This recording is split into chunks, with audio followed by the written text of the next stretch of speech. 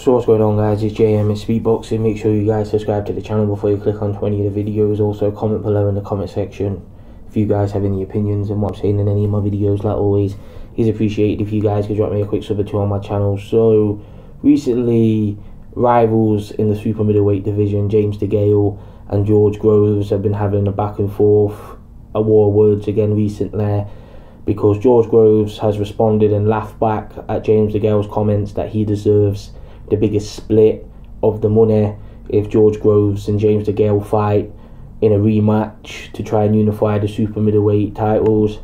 James DeGale recently spoke to the Mirror and he is quoted to say here Groves caught Chudinov early in round six and kept on punching and the referee had to stop it. But I didn't think Groves looked great. He didn't fight the best world champion. Chudinov is an average fighter who was tough and strong, but very one dimensional, and I think Groves has gone backwards.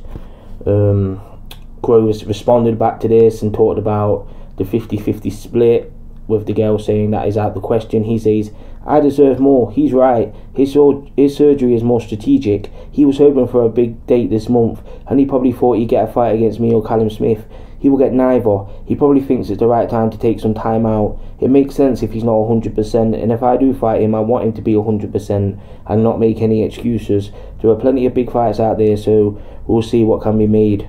I don't need to chase anyone. Everyone is coming for me. I've had quite a few offers for big fights. There's a potential fight with Callum Smith if he comes through his next fight with Anthony Dirrell.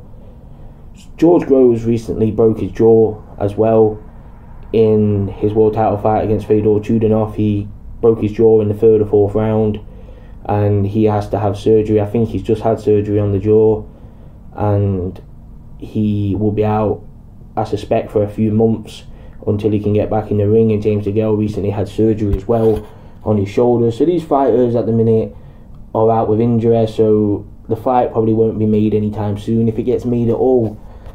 And James DeGale saying that he deserves more money. Like I know a lot of people would think that because James DeGale obviously only has one defeat on his record. He didn't have to fight four world title fights to finally pick up a world title. He did it in his first attempt.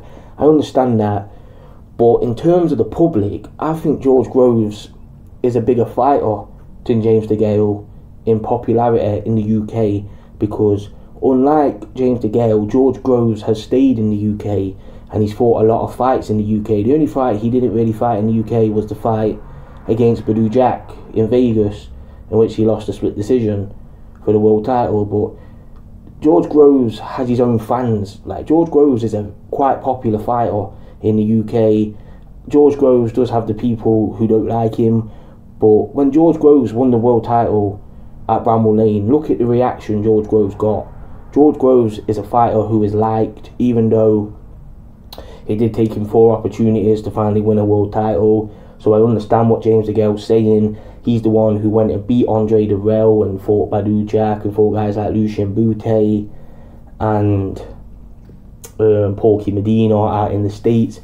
But the fact is, their rematch would be in the UK, and in terms of popularity, I think George Groves is the more popular fighter. Not by loads, because James DeGale does have his fans, but I think because James DeGale has fought out of the UK and George Groves has stayed in the UK, George Groves is the more popular fighter because he's been loyal to the fans. He's stayed and fought in the UK, fighting guys like Martin Murray, Gutknecht, um, David Brophy. Obviously, we all know his two fights with Carl Froch, the biggest, one of the biggest fights ever in front of 80,000 people at Wembley Stadium. So I think George Groves is the more popular fighter in the UK. So I can understand both sides, but I think for this fight to be over the line, both men need to get 50 50. I think 50 50 for this fight would be okay. I think if George Groves didn't have the world title, then James DeGale can start saying, I deserve most of the pie. But now George Groves has a world title, that will mean a lot for him at the negotiation table. But both guys seem to be um, both driven by their egos, so it sh- could be hard to negotiate a rematch between these two fighters because both fighters don't like each other at all. We all know this from the first fight. They haven't liked each other for years and years since the amateurs. So that's why this fight is so intriguing and it always has been like these two were always meant to fight again. And if they don't fight again, then I think it will be a disappointment because fans want to see it. Both guys are world champions now. The rivalry's there, the story's there. So why not have a big fight between George Groves and James DeGale in 2018? Because I don't think that fight will happen this year. But why not have it next year? I think that would be a massive fight. And both guys need to really kind of put their ego aside and just try and come up with a deal which fits both guys fairly because both of them are world champions. Obviously, people forget George Groves has beaten James DeGale. He's the only um, fighter to beat James DeGale, so he has that as well. George Groves. So this fight could be very hard to negotiate.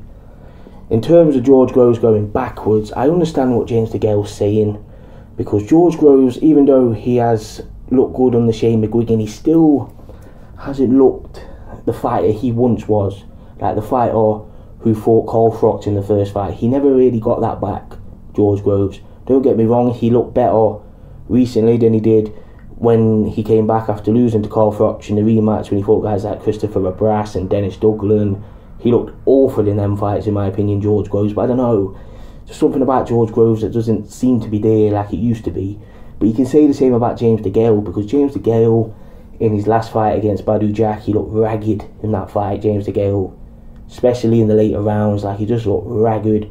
He looked exhausted, and James DeGale's never been a fighter with a lot of strength in the super middleweight division. He's never been a fighter who's particularly strong, so he tends to get bullied in fights. James DeGale in terms of strength. And against somebody like Badou Jack, who was a lot bigger than him in terms of strength and stuff like that, Badou Jack is a massive super middleweight. He's moved up to light heavyweight. That's how big Badou Jack was in the super middleweight division.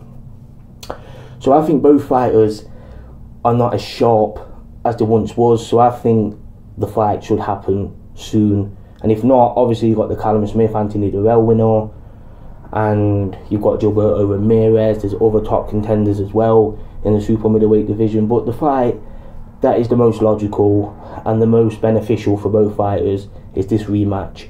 It needs to happen. The fans want to see it. The fans think it's the right time. So why not? So yeah, this is just my opinion on this.